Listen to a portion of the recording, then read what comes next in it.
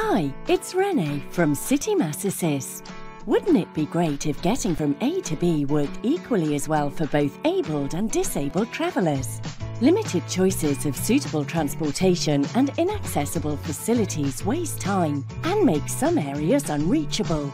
At CityMaaS Assist, we are creating a decentralised mobility app that efficiently and effectively matches your disability needs with appropriately trained and equipped transportation. We use artificial intelligence to continually improve the best options for you and blockchain technology to secure your data.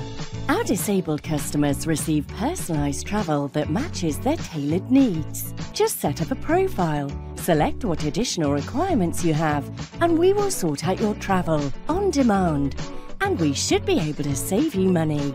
Transport providers benefit from a loyal, increased customer base and increase the return on investment while minimising idle time.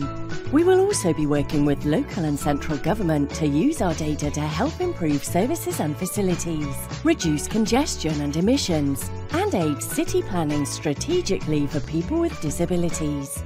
With your help and collaborations, together we will make this a reality citymaas.io